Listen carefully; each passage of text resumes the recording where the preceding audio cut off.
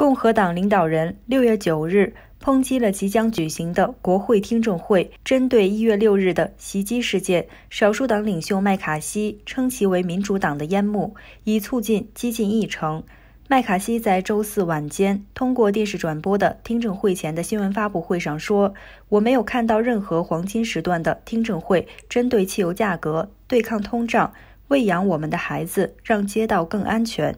国会就2021年唐纳德·特朗普支持者袭击美国国会大厦的听证会，将重点关注这位前总统的高级助手和家庭成员的证词，